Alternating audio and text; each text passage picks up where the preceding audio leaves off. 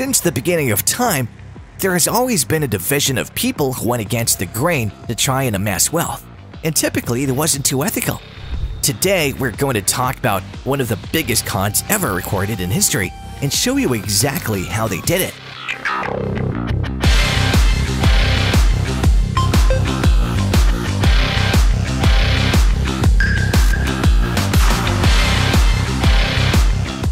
So let's start with a question. Have you ever been scammed before? Most of us have been at some point deceived by someone or something. Not too fun, is it?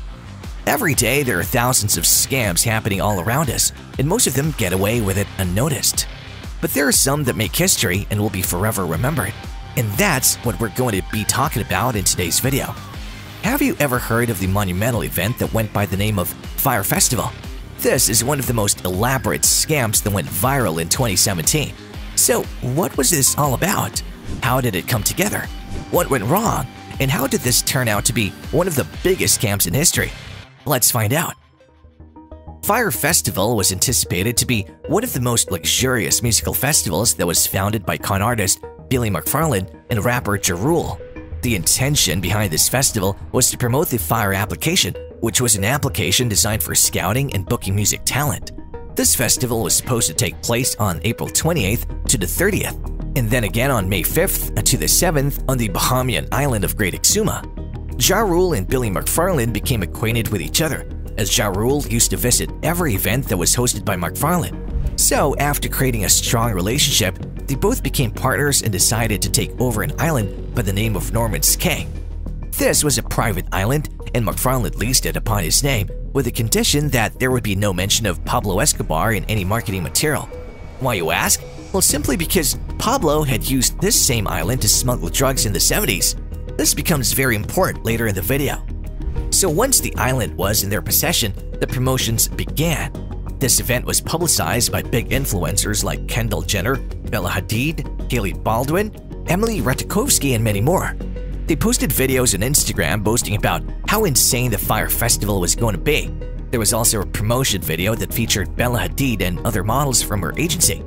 In this video, these models were running across the tropical beach with messages promising an immersive music festival for two transformative and life-changing weekends. But during the promotions of this festival was the first mistake. McFarland had said that the island was owned by Pablo Escobar previously, which was ultimately a lie and that was the one thing that he was told not to say. Due to which, the owner immediately cancelled all the arrangements. But the party didn't stop there. Shortly after they were kicked out of the island, they were on to searching for a new place to host the event. But this was something that was kept hidden. It was not until only two months left on the calendar for the event when they found their new venue for the ultimate scam. At the last moment, the Bahamian government came to help them and gave McFarland the permit to host the festival on a site that was set aside for development at the Rocky Point on Great Exum. The scam was backed up and operational. Now, the first of many problems was that on social media, they had mentioned that the event was being held on an isolated island that was owned by Pablo Escobar. But this was far from the truth, as the island was not isolated at all, and it was never owned by Escobar. It was actually located near a sandals resort on Great Exuma. Since it was supposed to be located in an isolated development, they simply altered the map in a way that still made it look like the festival is taking place on Escobar Island. Problem solved. So, how much did it cost to get into this elaborate and luxurious festival?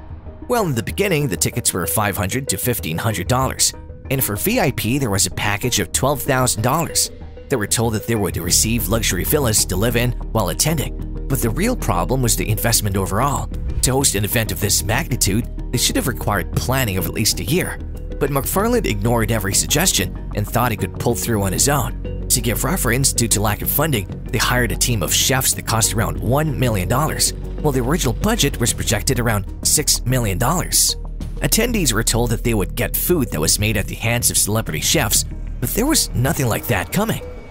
With just two weeks left for the event to take place, they found themselves in a position of not being able to provide villas for the guests to stay in so they simply switched their plans and settled for tents.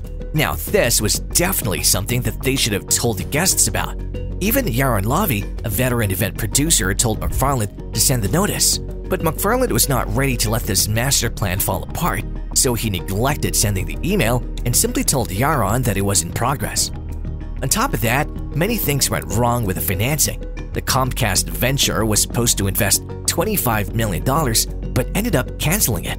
After the Comcast deal fell through, McFarland obtained some temporary financing for Fyre through an investor by the name of Ezra Birnbaum that required the company to repay at least $500,000 of the loan within 16 days. Now, as McFarland was running low on the budget, he suggested that the attendees should deposit $300 to $500 for every day they planned to stay. He also promised that they would be issued a special RFID-equipped smartwatch ID and the event would be completely cashless and cardless. Pretty cool concept, I would say.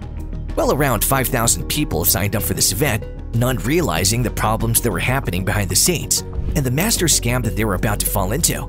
And so it began. Initial arrivals were brought to an impromptu beach party at a beachside restaurant where they were piled with alcohol and kept waiting for around six hours while frantic preparations at the festival site continued. McFarland had hired hundreds of local Bahamian workers to help build the site. Meanwhile, organizers had to renegotiate the guarantees they offered to the people who were to play at the festival at costs spiraled out of control. Later, arrivals were taken directly to the grounds by school buses, where the true state of the festival site became apparent. Their accommodations were little more than deceiving to say the least. Most had to sleep in tents with dirt floors, some with mattresses that were soaking wet as a result of the morning rain. The promised gourmet food accommodations were nothing more than inadequate and poor quality food. Festival goers were dropped off at the protection bungalow where McFarland and his team were based so they could be registered, but after hours of waiting in vain, people rushed to claim their own tents. Although there were only about 500 people, there were not enough tents and beds for the guests, so they wind up stealing from others. Attendees couldn't leave the festival for the nearby Sandals Resort as it was peak season, with almost every hotel in Great Exuma fully booked for the annual Exuma Regatta. Around nightfall, a group of local musicians took to the stage and played for a few hours, the only act to perform at the event. In the early morning, it was announced that the festival would be postponed and that the attendees would be returned to Miami as soon as possible. They said they would postpone the event, but it was later canceled. The aftermath of this festival was pretty obvious. A lawsuit of $100 million was filed against Ja Rule and McFarland in the state of California. It was filed on behalf of the plaintiff Daniel Jung and his lawyer Mark Geragos. It was a class action lawsuit with 150 other plaintiffs. The lawsuit was for alleged fraud, breach of contract, breach of the covenant of good faith, and negligent misrepresentation. Ja Rule posted on his Twitter saying, It wasn't a scam, and this is not my fault. Later in 2019, Ja Rule was dismissed from the suit. Later on, many other people joined the lawsuit. In April 2021, this case was settled for $2 million. I wouldn't say this was a lot of money, as there were almost 277 people in this lawsuit, and they all receive approximately $7,220 each. But after all this and legal fees, these people only received about $288 each.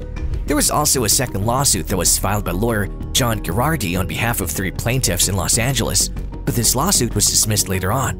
But there was a total of eight cases filed against the Fyre Festival.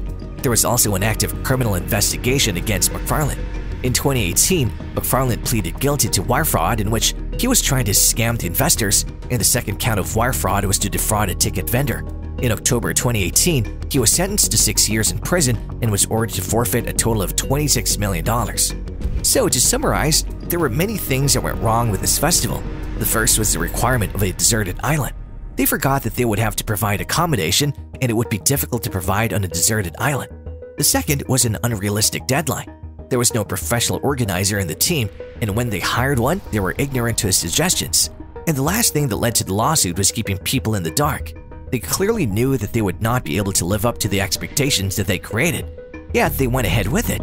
If they had informed the attendees about the issue that they were facing and postponed the event to winter, they would have been able to give them the time of their lives, but that wasn't the case anyway. So, what do you think about all of this? Should McFarland have served a longer time in prison? Should the attendees have been reimbursed a greater sum? Let us know in the comments section below. Make sure to like since it would be a little hard for you to get scammed. So why not subscribe as we'll keep on bringing more videos like this so you can know and learn better. Until next time, bye bye.